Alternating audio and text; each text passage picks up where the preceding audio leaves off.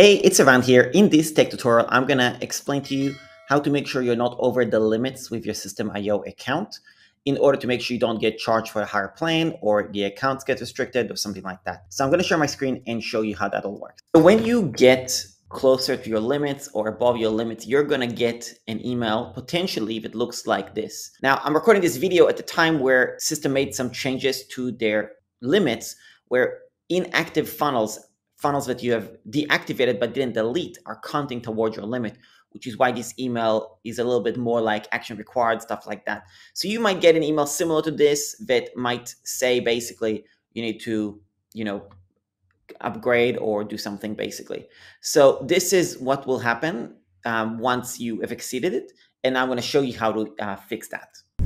So now I'm in my Systeme.io account and bear in mind, this is a test account. This is not my actual account.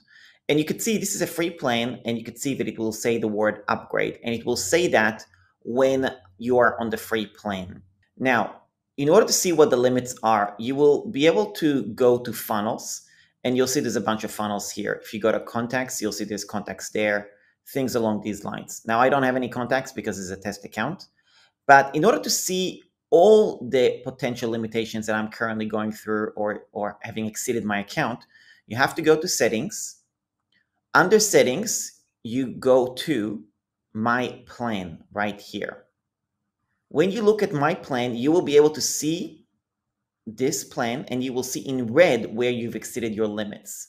So you could see that I've not actually exceeded the limits on many things, only the funnels. So in order to do that, I need to go to funnels. When I'm here, you're going to see that I've got three funnels. So if it says three funnels, why does it say six?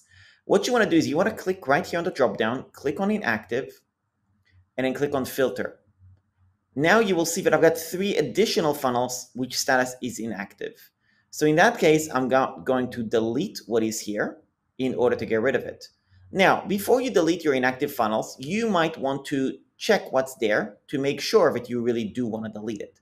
I'll show you an example. Like if you look here under edit page and you could see what is this squeeze page, then I might want to save something out of it. Now I can't save the full page, but you can save specific sections.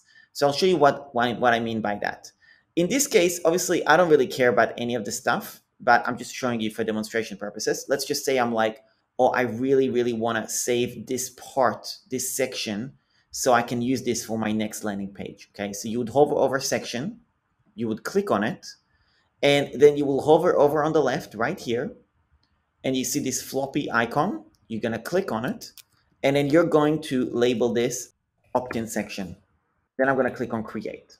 Now, whenever I save green, i.e. a section, I like to label it section. So when I do a search, I can always see the sections that I've saved. I'll show you that in a second. Let's just say for a second, then I'm like, oh, I really want to save this FAQ. So again, I'm going to click into it. I'm going to click right here on this floppy icon, and I'm going to call this template FAQ. And again, this is really important for you to make sure you label it as FAQ as well. And then you can also put the word element because these are called elements, okay? Because in the library, later when you're searching for it, it'll be easier that way. Now let's just say I actually want to save this row.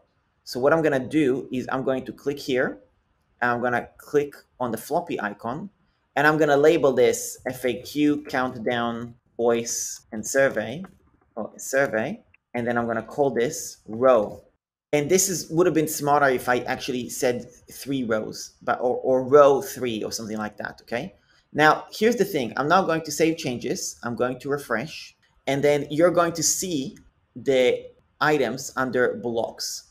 So when you click to blocks, you will see here my blocks, and you will see what I just saved, FAQ count and voice uh, row, FAQ element, this section, and so on. This is really important because now if I'm searching, now let's just say in my case, I've got hundreds, maybe thousands of things saved now, okay? So if I'm looking for all the different FAQ elements that I've saved over time, I can just go here and search FAQ and only the FAQ ones will be saved.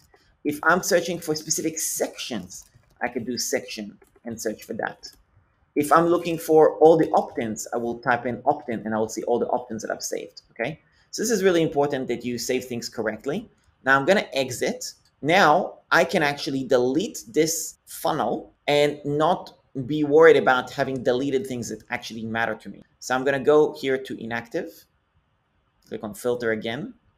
And now I can be confident that I can delete this like so, confirm, and that's done. Let's look at beginner's guide. I've got an order form. Let's look at the edit page. Okay, so that's that. I already, I don't actually need to save anything here, so it doesn't matter. Once I've evaluated if I want it or not want it, I can go back here, go back to funnels. Again, make sure you look at the inactive, and then I can click here and delete. One last thing that I want to show you as well is when you look at the items on the page, you will notice this says info page, that's fine. Uh, but sometimes you're going to have something like this. Um, let's just pick link in bio. And then you will see that it will say this thing right here.